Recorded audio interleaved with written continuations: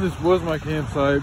I was rapidly uh, flooded with about a couple inches of water. It just came in very suddenly.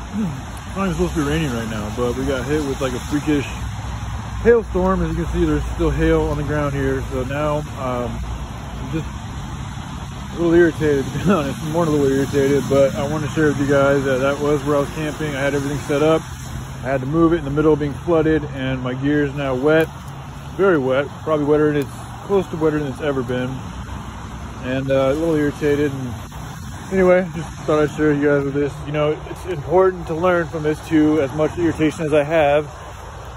I saw the water coming in. I did not think it would come in that quick. It was literally like a couple feet away, and then I, within a minute or two, it was on top of me. So, anyways, things can change really quickly. It's important to make sure that you're not camping right in the middle of a potential flood zone, which is my fault. So, all right, I love you guys. Y'all take care. Bye.